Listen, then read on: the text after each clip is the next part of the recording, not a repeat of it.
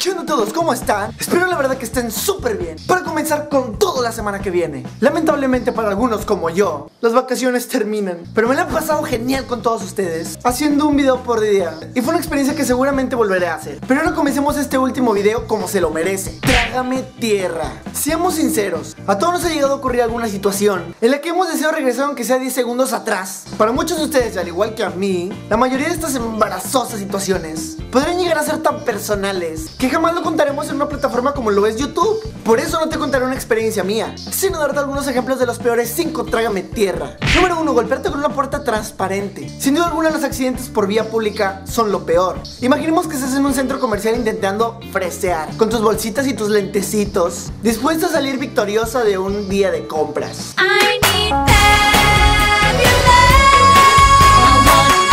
¿Listo para cumplir tu presencia tan típica top model I need attention? Se interpone en tu camino una puerta tan limpia, pero tan impecablemente limpia, que ni te diste cuenta de que estaba ahí. Número 2. Decir otro nombre a tu pareja. Posiblemente no se lo dijiste intencionalmente, pero él o ella no va a pensar eso. Claro que no. Oye, pues, este... Uh, ¿Cómo estás, Pancasia? ¿Cómo me llamaste, hijo de tu re? Por eso es que existe el típico novio, amante, esposo cariñoso y cuero. Que siempre dice en lugar del nombre. Hola, mi amor, cariño, nena, preciosa, bombón, burbuja bellota. Piénsalo, te puede servir muchísimo. Número 3, las flatulencias. A ver, estar en un lugar cerrado y que se te quiera salir tu humanidad. Entra en uno de los peores trágame tierra de la historia.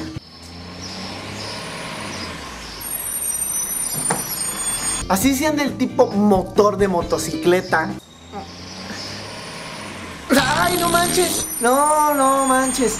Hijo eso. Tronó allá. Sí, un carro. O así sean de los ninjas. Silenciosos, pero matan.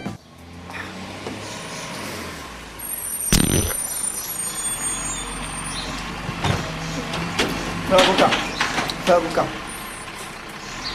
Número 4. Demostrar tus nervios. Y te explicaré por qué. Imagina que estás a punto de invitar a salir a una chica. Y obviamente intentas decirle algo lindo para empezar. y quería decirte, pues, que te pareces a mi perra. ¿A tu perra? No, o sea, eh, o sea, en el cabello. Sí. Entonces tengo el cabello como una perra. No, no, no. Oh, es que, o sea, siempre lo tenía bien cuidado. Sí, le dábamos linaza. Ah, sí. Ya está muerta. Pero era muy linda. Número 5, que no sepas qué otra vergüenza poner en tu video. Chavos, ya está aquí el video del día de hoy. Muchísimas gracias por pasar toda una semana completa conmigo. Por dejarme comentarios en las redes sociales que te dejaré en la descripción. Por haberse suscrito a este lindísimo canal que es mío y de ustedes. Por los likes, para que yo siga sabiendo que te gusta el trabajo que yo hago. No olvides compartir este video con todos tus amiguitos. Nos vemos en el otro viernes de Videoblog. Esto fue la semana de vacaciones. Como siempre, ahí nos vemos.